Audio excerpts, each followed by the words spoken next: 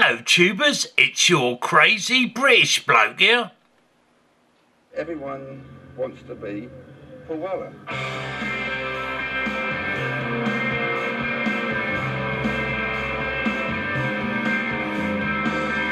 We grew up with Paul. He's a god. He stood the test of time. He's been there a long time, dude. He's the Modfather and the godfather of everything, so yeah, it's different class, without any shadow of a doubt. He's a great songwriter, great performer. Well, it means everything to us.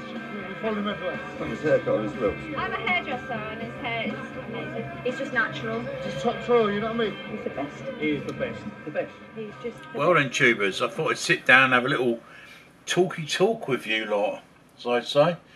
Um, music.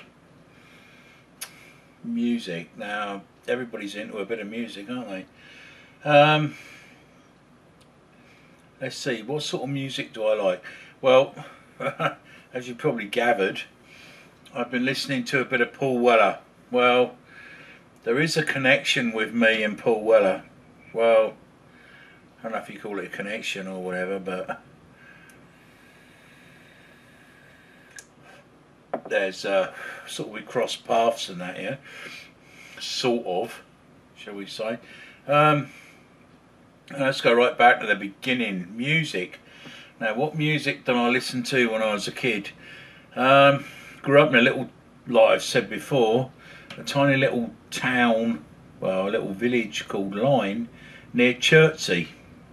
That was in Surrey. Um, I only lived like three doors down from. Oh, got a little bit of rum and coke here. Well, actually, quite a lot. It's quite nice. Um, lived like three houses down from all my cousins, like first cousins, second cousins, and all that. Yeah. Um, that was back in the 60s, and uh, all the older ones, they were a lot older than me, they were uh, all into lots of music and that, and uh, that was the old Teddy Boy era. So they were all done up as Teddy Boys with the old quiffs and the old freaking Teddy Boy suits and the creeper shoes and everything, and all the Teddy Boy music. And uh, us as youngsters thought it was like absolutely brilliant, eh? You know, you got your your cousins driving around in Zephyrs and Zodiacs and listening to all the old rock and roll and everything. And uh, yeah, I was into a bit of rock and roll then when I was a kid. And my cousin Anthony, you know, we were like freaking glued together all the time.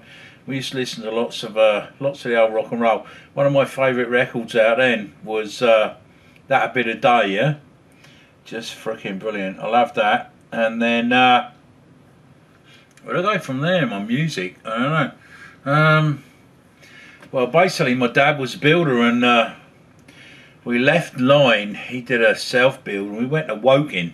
Yeah, you've all heard of me talk about Woking before. I went over there when I was about ten. Yeah, I think I was ten when I moved there. So that was like uh, into the seventies, yeah. And uh, music-wise, you know, I met a lot of uh, friends there and that, I went to school with, and you know, a lot of my friends around the area. And the music we was into then was, uh, don't like knock me for this, but Gary Glitter, eh? Rock and Roll Part One and Part Two, that came out. Um, used to listen to that, and I was really, really hooked on uh, Slade. I love Slade. Noddy Holder. I used to dress up like him. I don't know why I did, but we were sort of into a bit of the. and you had uh, who's them bloody group? That group from uh, uh, Scotland. I can't think of their name now. But I used to have all the jeans stuff on with a tartan on and everything. So we're sort of all influenced by that, and uh, used to wear uh, like the really tight Levi jeans like right up to my knees nearly, and uh, Dr. Martin boots. Um, everybody was sort of going into skinhead, skinhead times those in them days, and uh, a lot of my friends had skinheads, but I never, I never actually had a skinhead. I always had long hair because I like Noddy Holder, yeah. So I always had the long hair, and I and I had this like they all had jean jackets on, Levi jean jackets, and I had this. Uh, this like jean jacket, but it was like three quarters. Don't know if you ever seen them. They had like side pockets on them, and they had like a couple of buttons up the front, and this like fur collar, yeah. And I thought I was like really cool in that.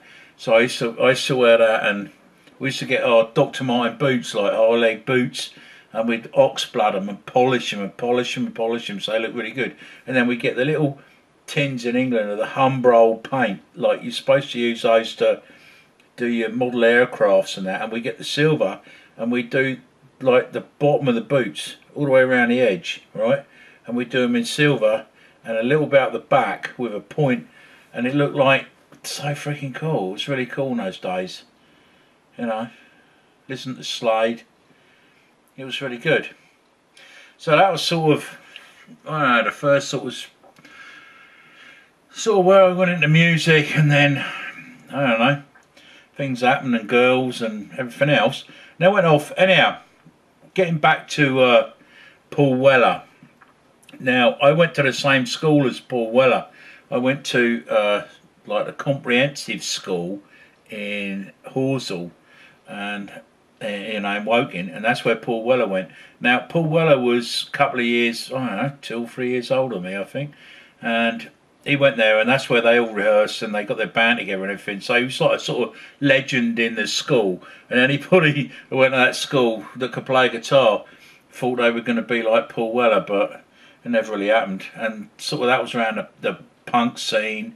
Everybody got into the punk scene, and and well, not quite the punk scene, but we all sort of went off from being skinheads to being mods. And uh, actually, I did get my hair cut then. I had a nice flat top and we were sort of into madness and the specials and we used to walk around in two-tone suits and Crombie coats with the little red bit up the side and the Fred Perrys and uh, the big penny rounds and what shoes do we used to wear? They were a freaking fortune. I know they were. I think my mum paid a lot of money for because there was a there was a store in town. It was called Dazzles, and it was like the the tallyman store and he'd come around and knock on your door every week and take so much money off you for like your your card that you had and knock it down and everything. Oh, sugar sugar top loafers, sugar top loafers. Not a pair of sugar top loafers with real, real, real thick, like leather soles on them and that. Yeah, and we used to get the big. And what we do is get the horseshoes put on the front and the back and like we thought we were really cool. Yeah, really cool. Yeah, them are the days, eh? So yeah, that was about when sort of when Paul Weller was around and they were uh, uh, the Jam and that, right? And they were sort of getting things going. Um, never really knew knew them then or or anything or what was going on with that, but um, like you know, a few years later on, my sister's at school in that same school, and uh, here's sort of the coincidence in that her uh, her best friend was Nikki, yeah, which was uh, Paul's sister, and uh, my sister used to go over there for dinner and that, yeah. Used to after school and go around to Paul's house. I I I've really really think about now, and I really sort of talked to her about it, or uh, you know whether she met Paul and that. I know she met the parents and and Paul's daddy was a manager and that. I know I know that sort of went on. Um, so then from there, um, did I listen to a lot of Paul Weller? Well, sort of a bit. You know, Jam. I listened to the Jam because it was uh,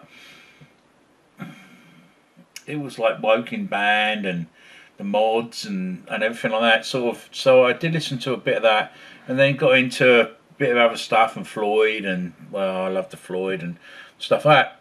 And then. Uh, let me have a drink and think about this. But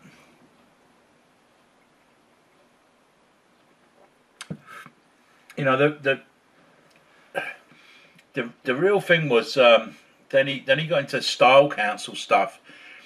Um, when that was sort of going on, I was more into uh, all the rave scene and that was going on. You know, smiley face rave scene and uh, yeah going to raves and stuff, even though I was old. It's like the old, one of the oldest skeezers there and that. But sort of into that sort of thing.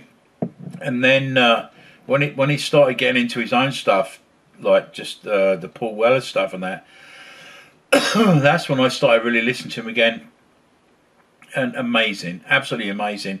And Wildwood is probably one of the I think that's one of the best albums out there. I love listening to it, Wildwood. And then you got Stanley Road. Now, his thing was Stanley Road. Stanley Road, I actually lived on Stanley Road in Woking. And uh, I don't know if you know much about if you watch any documentaries and that, and you see dad, who was a manager, talking about it.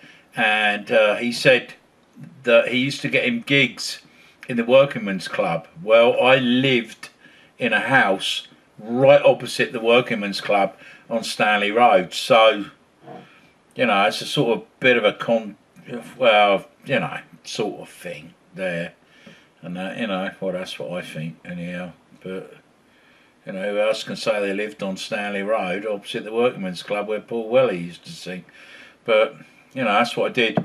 Um, some of my buddies, like uh, brothers and that, they were older than us, actually knew Paul. And, uh, yeah, but what an amazing artist. Absolutely amazing. He's going to go down in history as, uh, you know, in our century as one of those artists. We know that. And uh, I can't believe, you know, watching some of the stuff that's on YouTube now.